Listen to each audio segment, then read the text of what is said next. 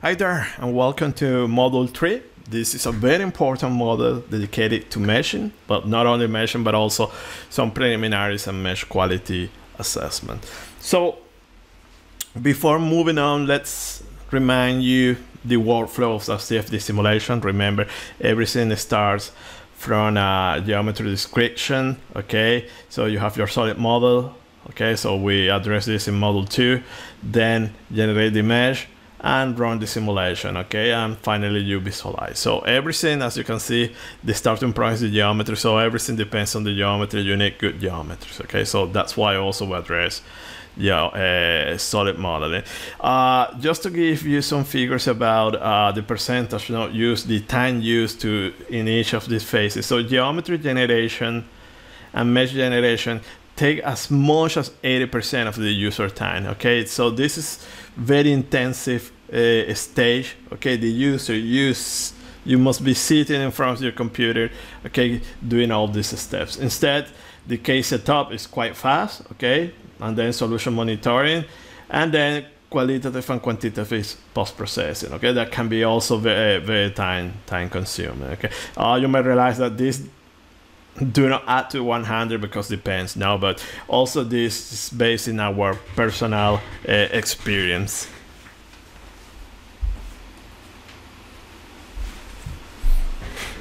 Then let's move to the to the tools that we have in, in OpenFOAM so in OpenFOAM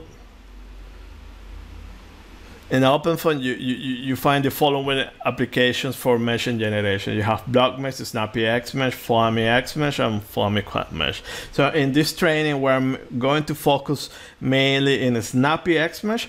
Okay, this is the most important tool, and we're going to briefly address BlockMesh just to generate background meshes, not the starting point for a snappyHexMesh. But also, we're not going to go into detail. So most of the time, we're going to focus here. Uh, also, as a meshing package that you have or library that you have in OpenFOAM, you can convert meshes for another format. So to name a few formats, you have it here. Okay, so if you don't, if you don't want to use the tools that comes with OpenFOAM, you can use external tools with no problems. So by the end of this module, you will realize that you are going to use snappyHexMesh for tricky geometries, stuff like this, and BlockMesh for very easy geometries. You have like a cube or a pyramid that you see here. Okay, so but BlockMesh is just very easy geometries, difficult geometries or industrial geometries, you go and use a snappyHexMesh. So now let's talk about some meshing preliminaries. So the idea of doing the mesh now is this stage, step is called domain discretization or also mesh generation. Just consists in dividing the physical domain into a finite number of discrete regions called control volume or cells in which the solution is sought. And depending of the method, the solution can be can be cell-centered or no-centered. Later in, in module 6, we're going to address that. So basically, you have each cells, you will have the domain. And it's intuitive from here that the finer the mesh, okay, the better the solution, or not better the solution, you are going to reduce truncation errors, but remember that you have models. And models also have some requirement for meshing. So there are some models that they work very well with fine meshes, and so there are some models that do not work very well for with fine meshes. So be careful with that. And also the mesh, you can address uh, is fixed bodies or moving bodies. There is no problem. It works in the same way. So the steps of uh, generating a mesh are three. So first, generate your geometry. Then go to the mesh generation stage where you can decide the surface, mesh size, volumetric refinement, you can add refinement regions, inflation layer, boundary layer, and so on.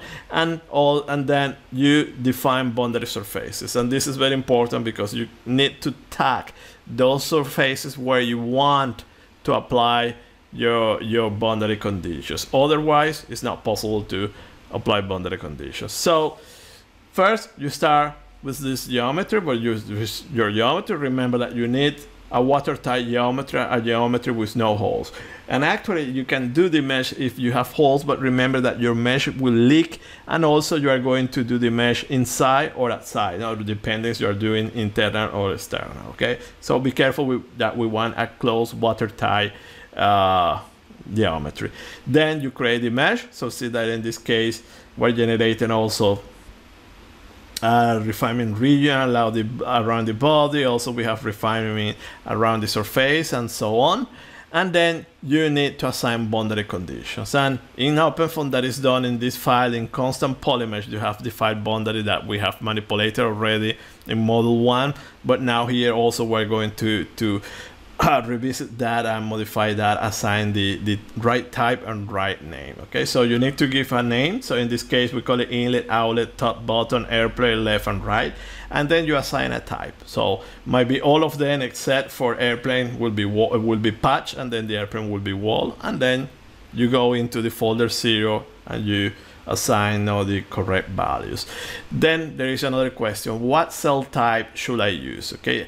So honestly, there is no restriction in the Sultan, okay, as CFD today, as what we have today. So many years ago, yes, there was a, a big differences, but thanks to the advance and computer power and also methods, okay, algorithm, today all of these cells will give you the, the, the the same results. However, there is a preference not to use cells. These are the ones that probably will give you the best results, okay? It will give you a small improvement. But have in mind that though all of them will generate, will give you a good solution. Uh, snappyHexMesh is based in hexa cells, okay? So this is the kind of meshes that uh, Snappy will generate. They are hexa dominant. So now let's talk about what is a good mesh, okay? So there is no written theory when it comes to, to mesh generation and mesh quality assessment. So basically everything depends on, on user uh, experience and trial and error. Okay, so the measuring the measuring mesh generation is, is, is trial. Okay, because later when we go into into into turbulence, you will see that you will need to generate a mesh, compute a solution, see if some quantities are okay, and then remesh, or if it is okay, you keep going. Okay, uh, and a standard rule of the thumb is that the element shape and distribution should be pleasant to the eye. Okay, so as you plot your mesh should be something that you will say, okay, this is nice. Okay, there is symmetry, there is nice change of size between large and small cells, as you see in this image. Okay, so you see that this, you look at this, is pleasant. However, this is not enough. Okay, okay, in a standard way, okay, we need to rely rely on some metrics. So always the first step, always a like, or probably the last step depends now what you're looking at, is look at the mesh, but also let's measure some metrics. And the the most widely used metrics are these orthogonality, skewness, aspect ratio, and smoothness. We're going to see what are those. Okay, however, have in mind that there are many more metrics, some of them that are quite difficult to, to, to interpret. However, they can give you a lot of information. Stuff like Jacobian matrix, determinant, flatness, equivalence, condition number, and so on. Okay, there are many metrics, but these are the most important ones. Um, paradoxically, it seems that uh, it is much much easier diagnosing bad meshes than good meshes okay? So knowing when a, a mesh is bad is really easy. Knowing when a mesh is, is good is, is tricky. Okay so let's talk about these metrics the ones that we're going to use and the one that we're going to see in OpenFOAM that I reported. So the first one is mesh no mesh orthogonality okay? So no orthogonality or orthogonality is the angular deviation or vector s okay located at the phase center okay from the vector d connecting the two cell centers p and n okay? So is this deviation is this angle. So you have this vector d connecting p and n and then this vector normal here to the face. So it's just this angle. So ideally, we want to have this angle equal to zero, means, okay, they are orthogonal. It's a perfect mesh, but that is the section rather than the rule, okay? So usually you're going to have this, and this orthogonality or non-orthogonality, it affects mainly the Laplacian, no, the diffusive terms and gradients computation. It will add numerical diffusion. And something interesting that is this angle is 90 degrees, see that the volume or the area of this cell will be zero and that is a problem okay? That is a singularity. So so usually you are going to have large angles with bad quality meshes then we have mesh skewness mesh skewness basically is this deviation here. So you have this vector connecting cells p and n. And this vector will intersect this face in a location different from the face center. So this deviation is what we call skewness, okay? So this skewness will affect the interpolation of the cell-centered quantities of face centers, and it affects mainly convective and diffuse stern, but to a lesser extent, diffuse stern. It adds numerical diffusion and wiggles to the solution, okay? And this skewness, a single cell with large skewness can give you a lot of problems. It's the same for, with non-orthogonality. A single cell with no, large non-orthogonality can give you a lot of problems. So that's why we want good meshes. Then we have aspect ratio. Okay, the aspect ratio is just the ratio now between the sizes of the cells.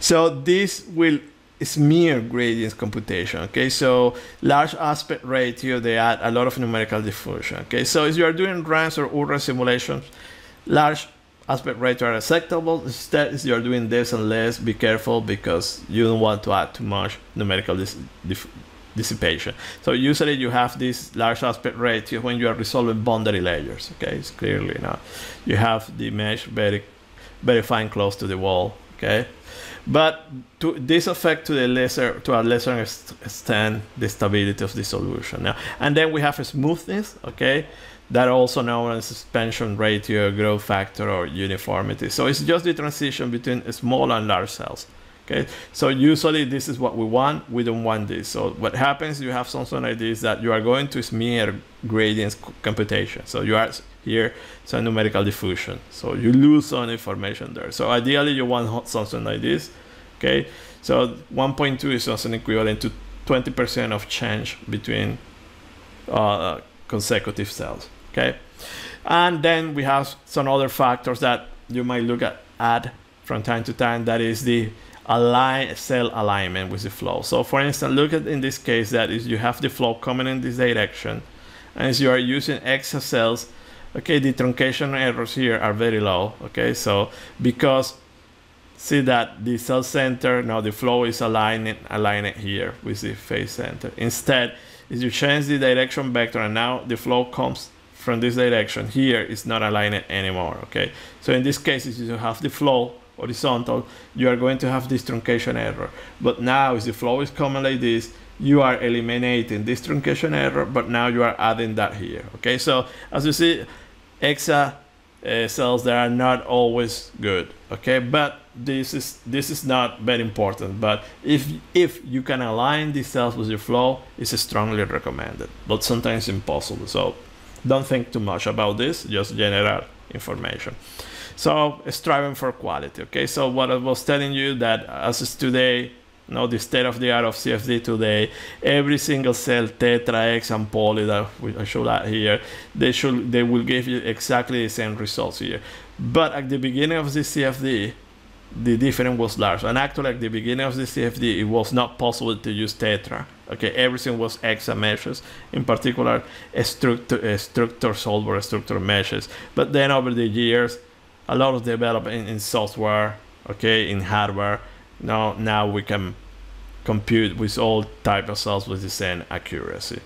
Uh, important that you should also uh, uh, control how you generate your mesh. So it's extremely recommended not to add more cells where the solution where you are expecting to have the largest changes in your your solution. Okay, so it should be something that, and that's why it, it is kind of a a trial and error iterative process. Now you generate one mesh, probably it's not ideally, you go, you redo and add more cells, okay? But usually you add more cells where you know that the solution is changing more.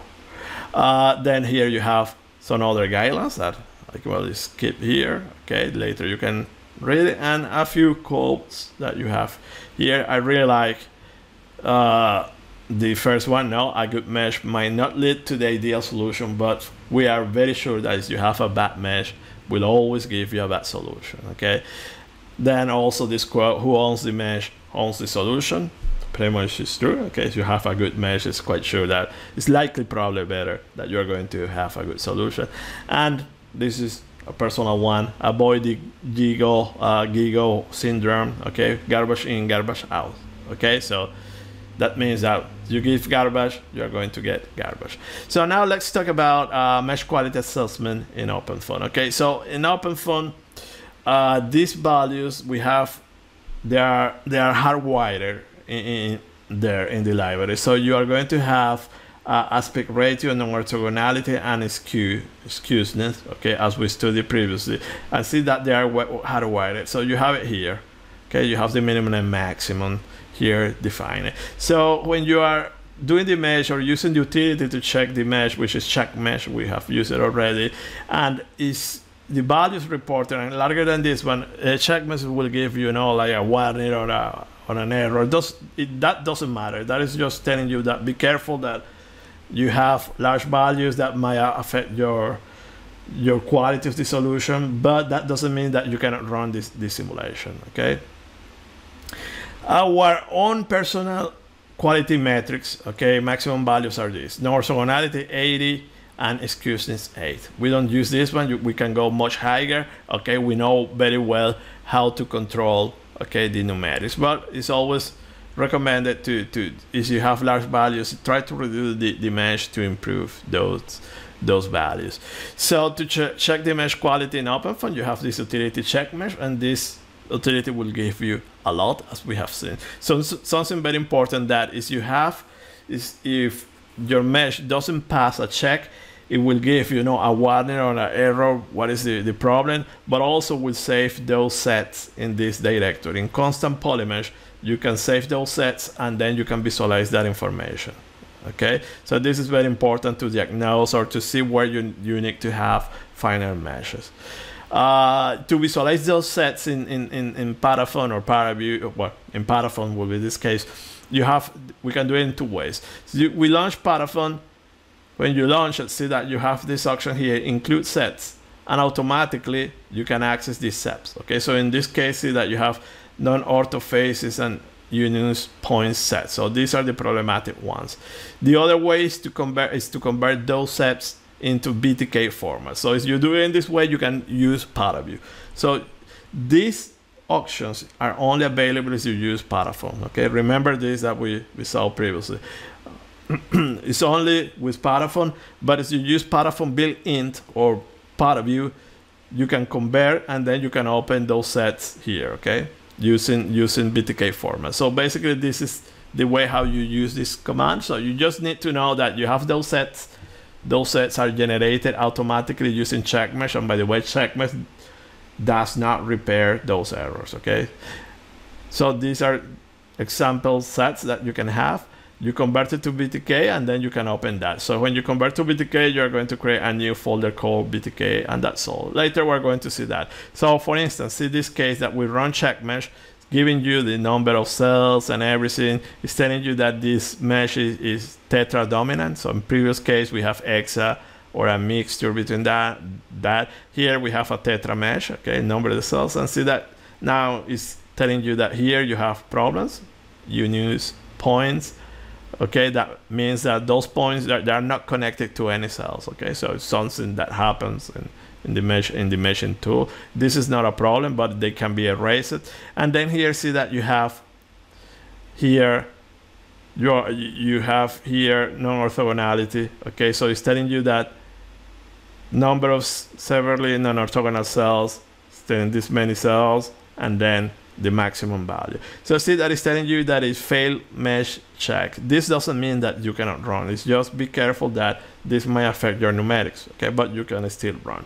So always save this one and when it detects this failed uh, uh, um, uh, mesh sets, it will save that in the constant polymesh sets that we're going to see later. So let's work in this case just to see those steps. So basically we have this airplane geometry and see that here we have two faulted sets.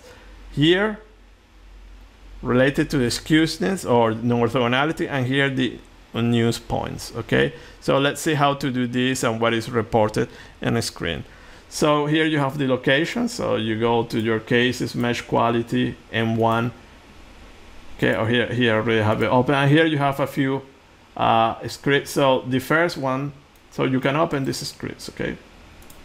So you will see that this one is to show you how to mirror. So here we have half of the domain as you want to mirror. Here you have this one. So this one mirror will read a dictionary mirror mesh. I'll be careful. So let me add here.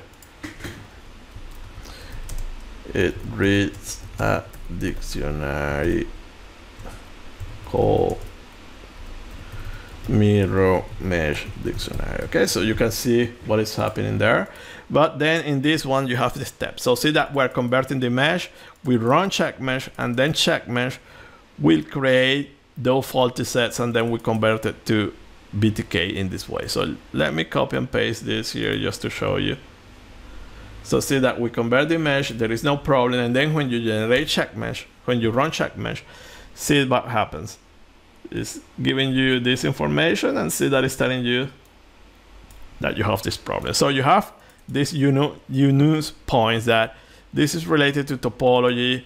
So usually topology, these are errors that you need to repair, but this one you unuse points is not a big deal. Okay, you can you can get your way around. Okay, but the, these ones here, okay, also you can run with no problem, but be careful that they will affect your the mesh quality. So see that when you run this one, and as you enter in the, in, in the folder constant polymesh, see that you have this folder here, and here you have these two sets. So you can visualize those sets. Just to show you, first is you use paraFoam.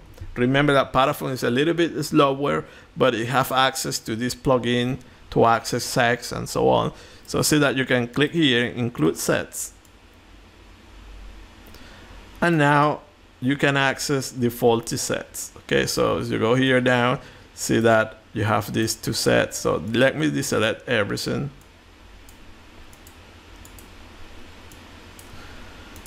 These are the faulty sets.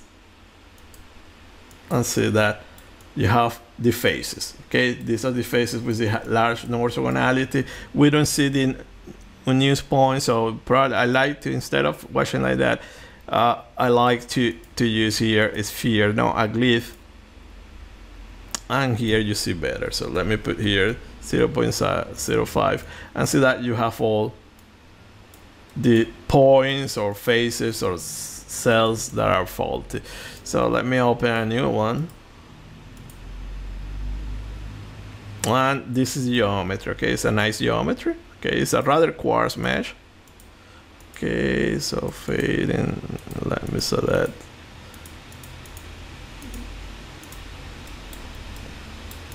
And this is what we have, okay? So see that usually in this kind of geometry, it is the leading edge and trailing edge where you have this large skewness or orthogonality. And for some reason, you have here some unused points.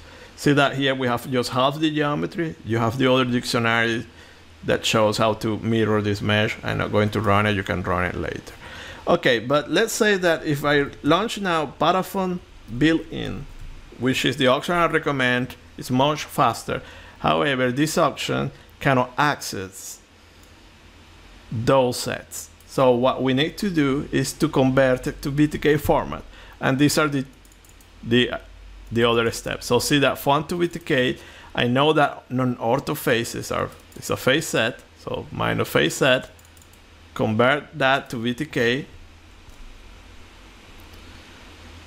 And see that you are going to have a new folder. And here you have the cells or, or faces in VTK format. And here you have the points also in VTK format. So now you can go paraFoam, built in ah sorry it's not like this should be like this built in apply okay so let's go here and let's let me select only the geometry okay so this is our nice geometry. And now you can open this in VTK format. So let me open the non-ortho faces you can change the colors you want. So you know now when you do the mesh these are the problematic regions. I like likely to repair to fix that problem you will need to have finer meshes or control the transition. You can also open the units points. Okay so this also the VTK format you can open that also using the paraFoam uh, the normal way. And usually to visualize this when we add glyph we put an sphere there and there you go you have your news points. And we can also change now the color as you want. Here let me add. And this is it okay so you have it there. So this is how you control the mesh okay? So always look at always when you generate or before running the the, the case always run check mesh. You have to be sure that you are with, within you know, the acceptable values. Then also here in, in, in you have this script run mesh 2 so this is just to show you mesh manipulation, okay? But I don't recommend you to do this. You have to be very careful. So here we're basically removing the faulty sets. So see that here we're using this command called toposet to select those. Uh, so this one will read a dictionary, okay? So as you go here, called toposet, toposet, see system toposet one. So it's doing some selection and it's selection the is selecting the unused points, okay? And then you have this one that is reading okay the non-orthogonal. So it's selecting those faces. So see here you can see you can see the syntax what it's doing now. So you select that and then you use this other command subsetMesh that is going to remove this selection. So this is a way to remove those cells. So is you, you can remove the point. So let me show you this step. Okay, so if I go like this, okay, let me close here. But be very careful. This is not recommended. You need to be very sure what you are doing. See that I'm running this one. Okay, okay, phone, phone clean. Ay, ay, ay from clean tutorials and let me copy and paste again.